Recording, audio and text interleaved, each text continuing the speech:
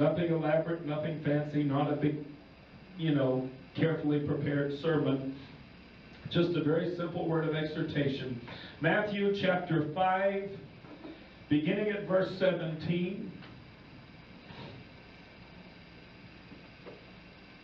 Matthew chapter 5, beginning at verse 17. And we stand in honor of the reading of God's Word.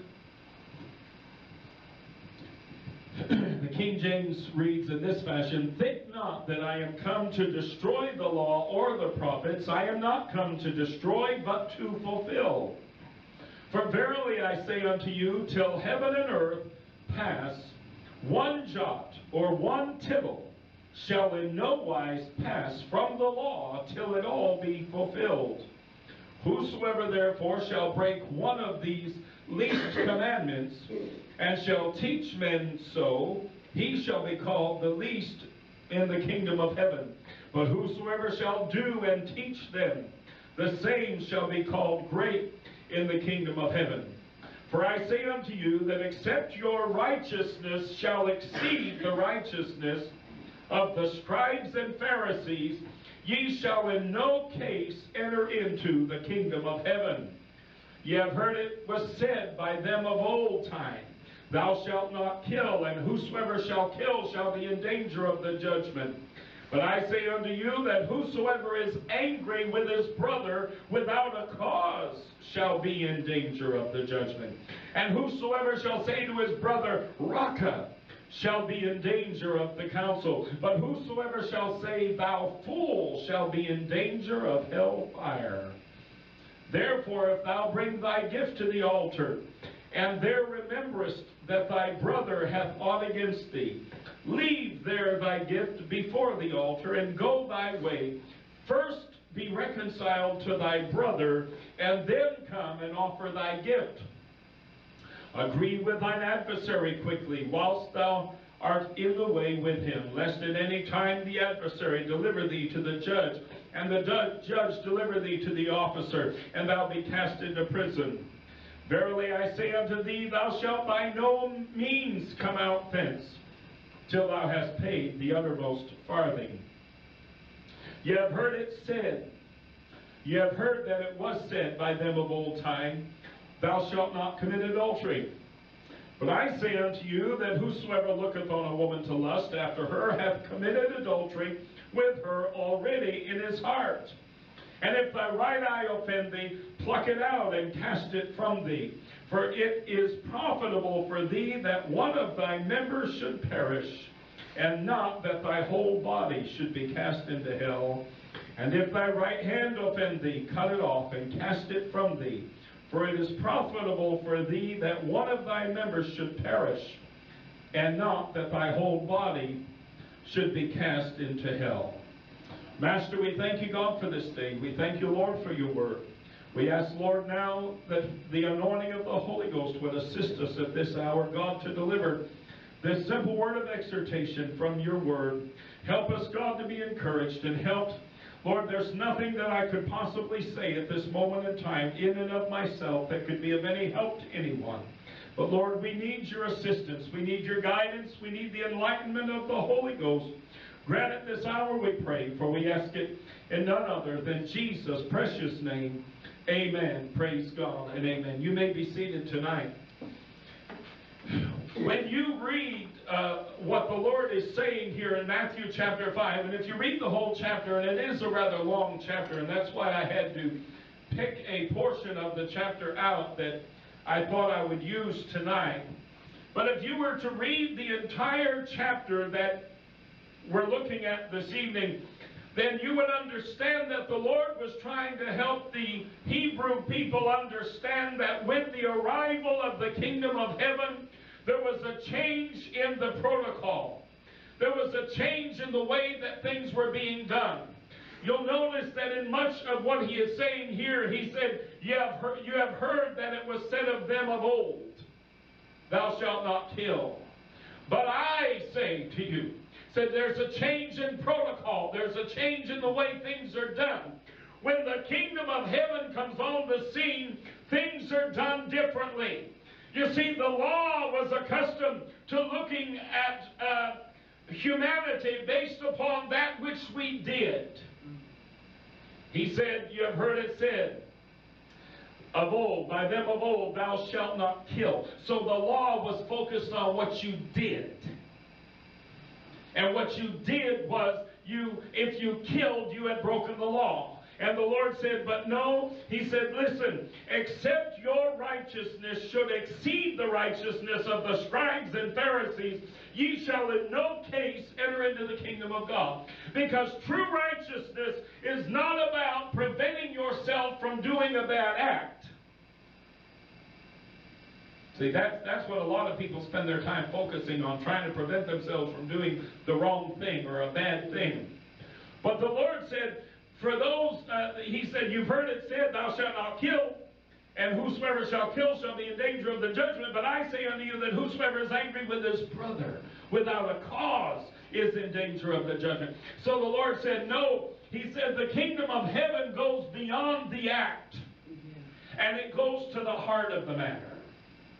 Amen. If I were to put a title on tonight's message, it would be Matters of the Heart. Because God, the Bible tells us plainly, as the Lord uh, had the great priest and prophet and uh, judge over Israel looking at the sons of Jesse. And he looked at one after another and he thought, yes, this would make a good king. This must be the one God wants to anoint. Yes, this one would make a good king. This must be the one God wants to anoint. Yes, this would make a good king. This must be the one. And each and every time the Holy Spirit of God is saying, No, that's not the one. No, that's not the one. No, that's not the one. Man looks on the outward appearance, but God looks on the heart. All of a sudden, here comes a little skinny, scrawny shepherd boy from the field with a slingshot hanging out of his pocket. And the Spirit of the Lord speaks to old Samuel and says, That's the one. Yeah. Amen. Because sometimes the most unlikely figures are the ones that God will use the greatest. And David proved to be one of the greatest men of God that ever walked the face of this planet. Was he a perfect man? No. But he was a man after God's own heart. Which meant that David's heart was always in the right place. His feet may not have been. His hands may not have been. His head may not have been. His manly parts may not have been. But his heart was always, without exception, in the right place. And you see, there's a lesson in that for us as children of God. With the arrival of the kingdom of God, uh, matters become not so much matters of law, but matters of the heart. God wants us to be certain that at every time, in every situation, that we're able to keep our heart pure and right before Him and keep our heart in the right place. Amen? Amen. Amen.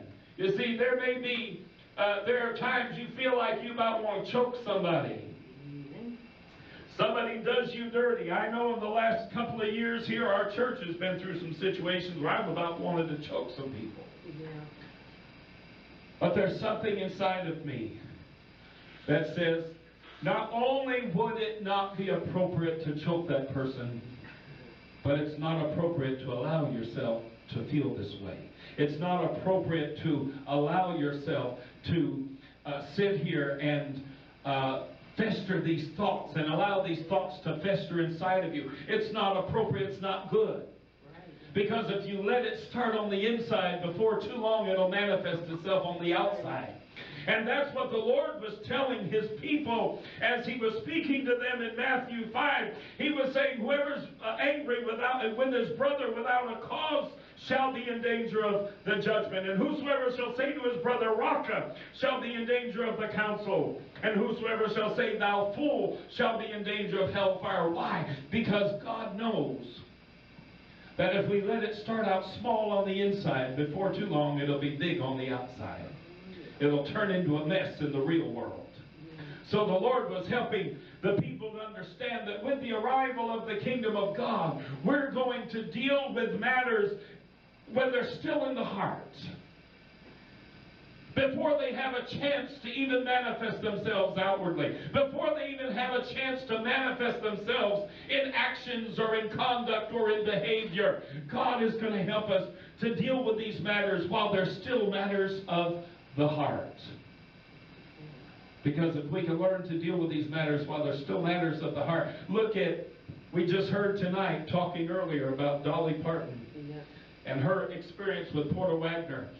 And how this little lady, bless her heart, was sued for all that money.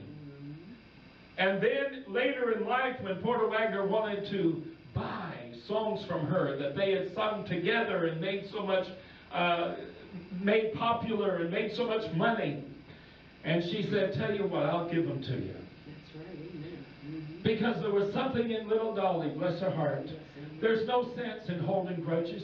It's only money. Amen. It's only money. He sued me. He won. The judge must have thought that I owed it. So obviously, it's only money. Amen. And you know what? Instead of letting something fester in my heart, instead of letting something little on the inside turn into something big on the outside, I'm just going to nip it in the bud. Amen. Amen. And I'm going to make sure that it doesn't become anything greater. Amen. You know, it's amazing when we see sometimes, the Lord said, anyone who is angry with his brother without a cause. How many times have we seen on television where somebody has murdered another individual, and then when we hear the reason for that murder, Yeah. we're thinking to ourselves, how stupid. Yes, that's right. Well, he looked at my girlfriend. Mhm. Well, he said something to my boyfriend, or she did this, or he did that. And we're thinking to ourselves, well, that, that explanation is ridiculous. That's right. Amen. Nobody should die for that. But you see, it starts mm-hmm. in the matters of the heart. That's right. Amen. And the problem with some of these folks is they already had so much anger on the inside that it doesn't take much to bring it out. Amen? That's why God wants the love of God. That's why He says, love your neighbors and love your enemies. Oh, my Lord, what do you mean, Lord? Every time we hear that, we think to ourselves, love your enemies. What is God crazy to say, love your enemies? But you see, there's a reason for that. That's right.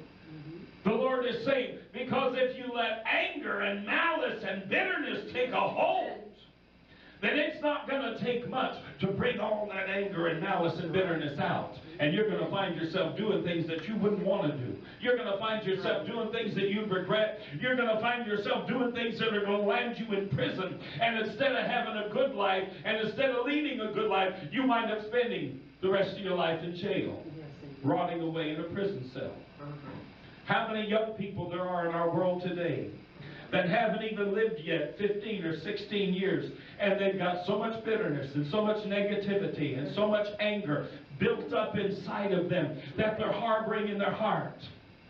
And what they need to understand is, sweetheart, let Jesus in. That's right. Because Jesus will help you to love the most unlovable. He'll help you to love the one that does you dirty just as much as to love the one who does you well. He'll help you to be able to approach people calmly and coolly and, and to be able to keep your temper and not become angry and upset and possibly do something that you would never have wanted to do in the first place. Why? Because God deals first with the matters of the heart.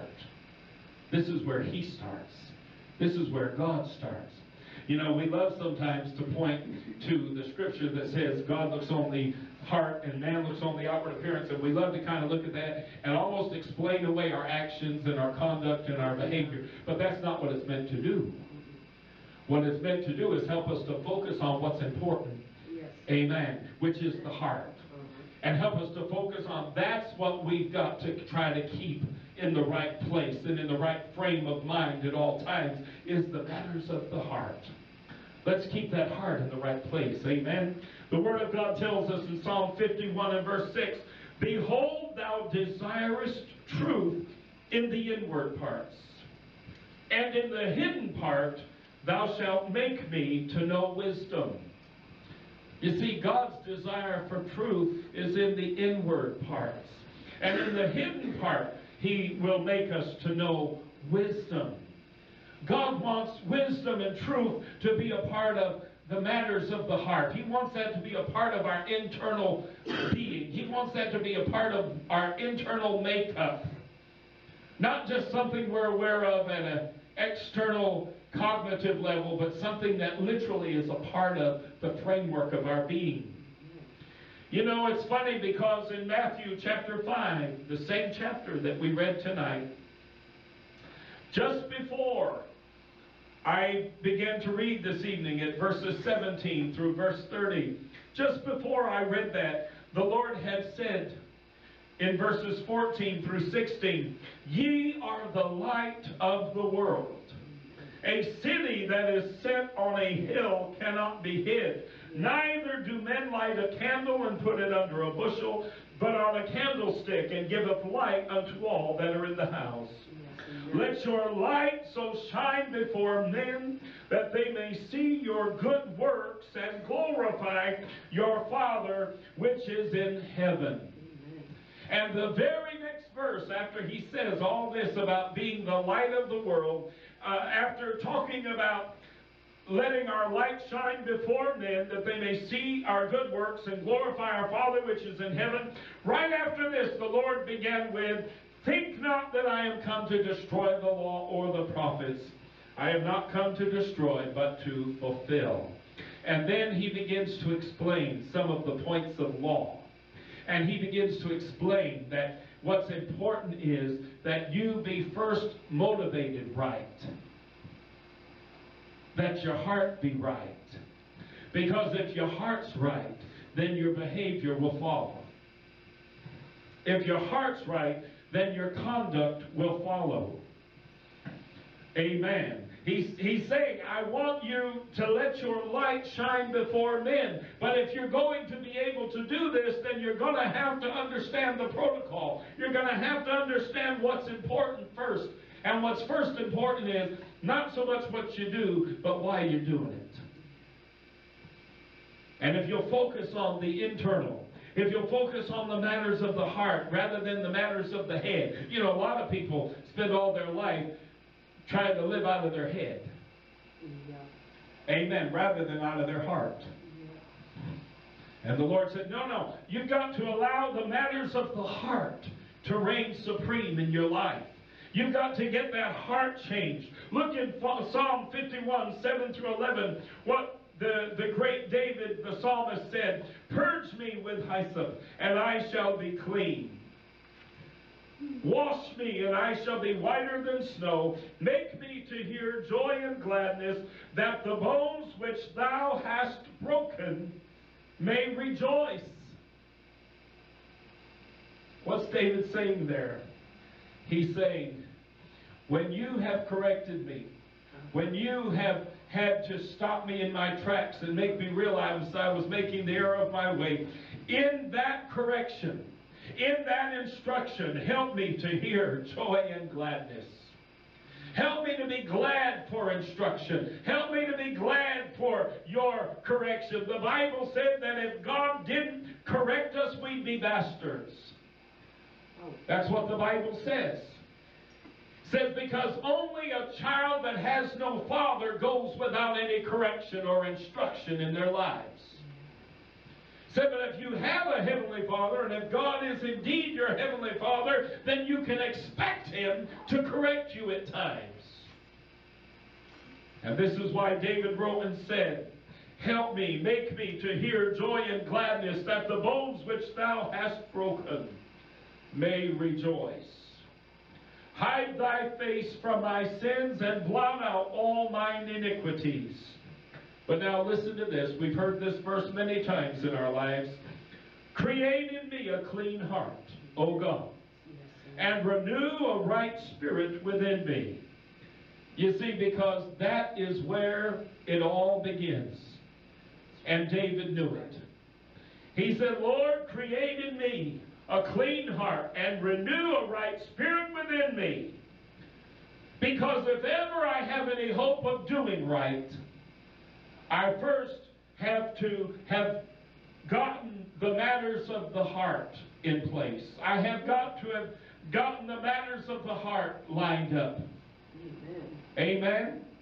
Cast me not away from thy presence, and take not thy Holy Spirit from me. I don't think there's a worse place in the world that a person, I don't think there's a worse experience in the world that we can have than feeling like God is not near us. And we don't feel God near us. I think that's probably one of the most horrific feelings. I know for myself personally, when I spent that time in the hospital almost five years ago now, Mhm. I felt like God was a million miles away. I really did. I could not feel God. I, I whether it was the drugs or whether it was uh, the surroundings, I don't know. But whatever it was, I could not feel God for all the money in the world. And I remember laying in that hospital bed, and I remember saying to the Lord, Lord, I believe you're here. I don't feel you. I don't sense you. But I believe you're here. Why do I believe you're here? Because you said you'd be here. And you're not a liar. And whether I feel you or I don't feel you, I'm going to believe that you're here for me. Well, honey, I'm here tonight. And that's proof that he was there for me. And I'm going to tell you right now, there is nothing worse than feeling like God is so far from you that you just cannot even tune into him and feel him anywhere near you. But there's only one way to keep God close. And David said it, create in me a clean heart and renew a right spirit within me. God is not close to people who draw close to him with their lips. Many people go to church every Sunday and they sit in the pew and they say amen and, and they go through the motions and they sing the songs and they listen to the preacher preach. But the Bible said they draw nigh unto me with their lips, but their heart is far from me. See, you don't get close to God by verbalizing. You don't get close to God by doing the right things. No, you get close to God by getting your heart in alignment. You get close to God by, by setting the matters of the heart in order. And it's when our heart is in order that we'll feel the Lord close to us. That's why when you can be driving down the street and listening to some gospel music and tears are streaming down your face as they're singing certain songs because your heart is just right in alignment and you're feeling what they're singing. Amen. It's not just a Sunday morning experience. It's a Monday through Saturday experience as well. Amen. And your heart is there, your heart is lined up, your heart is in tune, and that song plucks your heartstrings. Isn't it funny how you can cry like a baby when you break up with somebody in a relationship, and all of a sudden a song comes on the radio that oh it just it just plucks your heartstrings. Oh, all of a sudden you just start bawling. There you come again.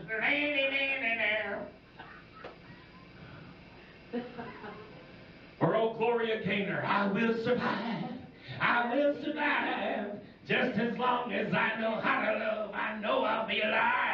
Yeah, and oh boy, and all of a sudden our old heart starts kicking in, and woo, yeah, we're feeling it. We're feeling- Amen. But you see, that's where your heart's at. You, that song is touching your heart. It's not touching you physically, but it's touching you emotionally. You're really, right. you're really in tune with what that person is saying in that song. That's right. Yep. And that's why the Christian experience has got to be an experience of the heart. It can't be an experience of, well, I go to church every Sunday and I sing the songs and I read this and I, I listen to that and blah, blah, blah. No, it's got to be a matter of the heart. Amen. Because in the end, God isn't seeing whether you go to church on Sunday. That's right. Amen. That's right. There's a lot of people today can't be in church. I know there were there were weeks and weeks and weeks when I couldn't be in church because I was in a hospital and all that. Right. You think because I couldn't go to church that the Lord would hold that against me? Of course not. That's right. Yes. Because in the kingdom of God, it's the matters of the heart. Amen. God knew my heart was there. Amen. He knew if I'd have had any chance in the world, if there was any any opportunity in the world, I'd have been there. But I couldn't be there. But then there are those that come and you know what? Their heart isn't here. Amen. Their heart is way off and let's see, it's over there at, at Six Flags and it's over there at Denny's and it's over there at home. It's doing laundry. It's folding laundry. That's where their heart is, but they're sitting here. Amen. That's right. And they think, well, you know, God's going to usher me into heaven and bless God. I'm going to get a key to, to heaven and a great big ceremony because I went to church every Sunday and sat through Charles preaching, bless God. And if that ain't enough to be rewarded, I don't know what is. But you know what? While you thought you was fooling everybody, while you thought everybody was fooled, God wasn't the least bit fooled. He knew every motivation that was going on in your heart. He knew everything that motivated you and moved you. And you know, that's true. That's not just true for you as, as parishioners. I hate to use that term, but for, for people in the pew, it's also true of the preacher. A lot of preachers get up every Sunday and preach, and you know what? They're not preaching because they love God. They're not preaching because they love the people of God. They're not preaching because they want to get closer to God or they want to help the people of God get closer to God. They're preaching to get their paycheck. Amen. That's right. So God. Yeah. And they think that God doesn't see that. That's right. Amen. They think that God isn't aware. They think that God is foolish and somehow he's fooled by their trickery. But the reality is God knows exactly what's going on because the only part of your entire being that the Lord focuses on Yes. is your heart. Yes. When your body's in church, if your heart isn't in church, then guess what? God Yeah. sees where your heart is. That's right. Amen. Amen. Amen. Isn't that something? Yeah. Your body can be in church, and guess what? The Lord ain't looking at your body. He's looking at your heart. And it's over there watching that show you wanted to see on, on Channel 11. It's over there watching that DVD Uh-huh. because God knows where your heart is. Mhm. And your heart and your spiritual man are one and the same. Because your heart is not your physical heart, obviously. We know that that doesn't feel anything. It does, but, but the heart that God is speaking of, that's why David the psalmist said, Create in me a clean heart and renew a right spirit within me. Because the two are married, the two are one and the same. If your spiritual man is going to be right, Yes. Then your heart's got to be right. Amen.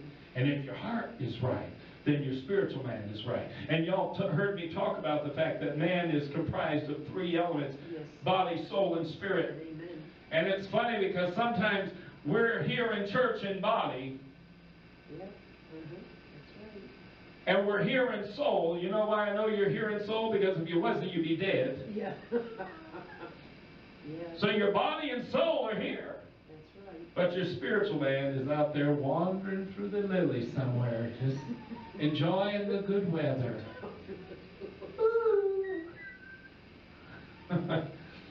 Amen. It's called Matters of the Heart. And the Lord spoke in Matthew chapter 5 about points of the law.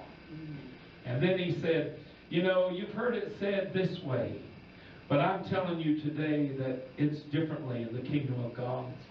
We approach things differently because we're not looking at the action, we're concerned with the heart. If we can keep the heart in the right place, then the actions will follow. Amen. Amen. And I want you to know tonight the Lord talked about as an example, I'm, I'm almost closing actually.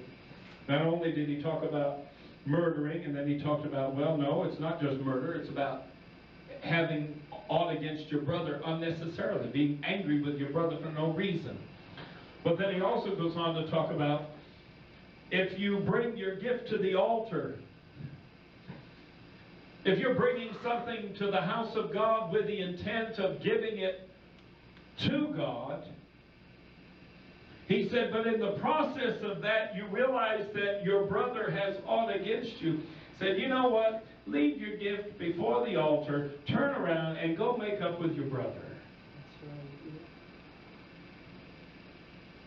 Because the best gift you can bring God is to have the right heart. Amen. He said, so while you're bringing the money, while you're bringing the offering, and you're thinking, woo, I'm going to help the church out because I got $5,000 I can give. But you got all kinds of hell busting loose in your family, and you got all kinds of trouble with other people in the community. And God said, no, I don't want your money. Leave your money there. Go fix that other first so that when you come, you're coming from the right place. That's right. You follow what I'm saying? And that's what the Lord's talking about. Because the kingdom of heaven isn't about actions. Your five grand ain't going to buy you a ticket into heaven. Amen. Amen. By this shall all men know that you are my disciples if ye have love one to another. That's right. One of the greatest things I've ever seen in church services, and I love to see stuff like this, I, and I have seen it many times, is when you know that there are people in the church that have a little kind of a problem with one another for whatever reason. Mhm. And the Spirit of the Lord gets to moving in the church. Mhm. and we're having one of them good shouting services, and the Holy Ghost is moving. And all of a sudden, Sister Jones over here That's right. Amen. has to make her way to Sister Smith over here That's right. Amen. Because she won't feel right leaving that service. right. Amen. With God having been there in such a beautiful way, she won't feel right leaving that service until she's made up with that lady. That's right. Amen. And I've seen it many, many times. And I've seen it in foot washing services. Mhm. See, that's something we believe in, is foot washing. A lot of churches don't believe in foot washing. Yeah. We do. Absolutely, I do. Jesus said that he had shown us these things as an example. He said, Happy are ye if you do them. So therefore, I believe that foot washing is every bit as important a an element in the church as communion is. And I've seen foot washing services where individuals had just broken down and started crying and hugging on one another because they had aught against one another. But in the process of the act of, of humbling yourself in front of your brother or in front of your sister, all of a sudden they just realized how stupid is this? My, my, my bad feelings are for nothing. That's right. They really don't amount to anything. Yep. I'm supposed to love this person, and you know what? I do love this person. Because Right. deep down in my heart, I really do love this person. That's right. And whatever it is the devil's trying to drive between us, that's exactly what it is the devil. That's right. And I'm not going to let the devil drive something between that person and I. Amen. And you see, that's one of the wonderful things that uh, I love about the move of God's Spirit because God motivates people, you know, sometimes Amen. to make it right. Mhm. I've had people come to me and apologize to me for things. And I've gone to people and apologized to them for things. Mhm. I remember when I started my first church. I was 18 years old, just a kid, thought I knew everything. But I'll tell you what, I was terrified at the weight of the responsibility of pastoring. Because pastoring to me was a huge responsibility, and I never wanted to take it lightly. I still don't. Amen. And I remember calling a former pastor of mine, John Harmon, down in New Jersey, where he was pastoring at that time. I don't know if he's still there or not, but he was at that time. And I called Brother Harmon on the phone. And I said, Brother Harmon, I'm about to have the first services in my church here. We're starting a church in Seymour. He said, Well, Chuck, that's great. I'm glad to hear that. He said, I knew you were heading in that direction, you know. I said, But Brother Harmon, you know what? I said things when you were my pastor that I shouldn't have said. I was critical of you, and I was judgmental of you, and I, I, I, you know, thought I knew better than you. And he said, Chuck, you never caused me any trouble. That's what Brother Harmon told me. He said, I don't remember you ever causing me any trouble. And I said, Brother Harmon, if I want to get my heart right, then I've got to confess it to you. You may never have been aware. It may never have caused you a day's grief, but you know what? It was still wrong Mm, because it was starting from here. Right. And I had no right second guessing my pastor, criticizing my pastor, judging my pastor. I had no right to do that. That was wrong. That man was there by God's uh, by God's appointment and God's calling. I had no business second guessing him. And if I'm going to start pastoring a church tomorrow, I don't want to go into that church with that track record behind me. That's right. Because guess what? You reap what you sow. That's right, amen. It comes around. Yes, sir. Right. And I said, brother, I know you reap what you sow. Mhm. So I'm repenting of it before I ever even get out there because I don't want to have a church full of people like that That's right. who are constantly second guessing me and judging me and criticizing me and condemning me for every decision I ever make along the way. Mhm. You follow what I'm trying to say? Yes, amen. Because it's about the matters of the heart. That's where it starts. If we got to fix it, you got to fix it there first. And if we fix it there first, then everything else will just fall into place. All the externals, all the outward uh, relationships, all the outward uh, actions will all fall into place. And they'll, they'll be the right actions, and they'll be the right relationships, and we'll approach things the right way if first we deal with the matters of the heart. Make any sense? Yes. Just a little word of encouragement tonight. I know it's not any big fancy sermon, but the best I could do this week, I'm afraid. It's kind of been a little bit of a discouraging week, but I sure did appreciate the ladies in North Dakota sending us an offering. You know, it's not about the amount, but see, again, it's just the fact that they were willing to try to help. Amen. That means so much to me, you know. If, do you realize that if, if five or six people would just feel the way they did, Yes, that our needs could be met in their entirety, you know? And it, it, it doesn't take a lot from, from any one person, it just takes a little from everybody. Yes, amen. Amen. So we're going to have to break down tonight. So would you stand with me tonight?